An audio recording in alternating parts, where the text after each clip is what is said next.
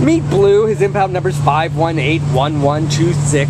And Blue is a ginormous seven-month-old male pit bull puppy who was dumped at the Downey shelter on May 21st because his former owners moved and were either too lazy or too inconsiderate to find a safe place for their ginormous puppy.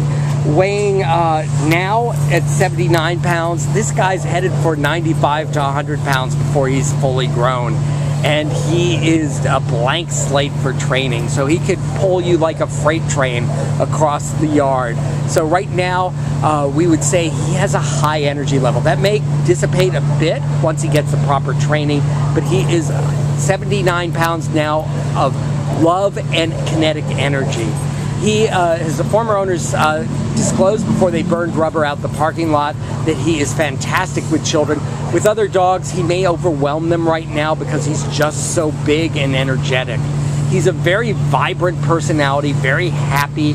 He is going to uh, be just a wonderful indoor pet uh, for an active family living in a private residence. Right now, we wouldn't let him be uh, in a home with a lot of small children if they were going to be trying to control him on leash because they would be they would have no way of controlling such a powerful dog.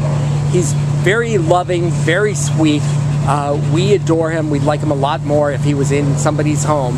This is Blue, a magnificent dog and puppy available for adoption today from your good friends here at the Downey Shelter.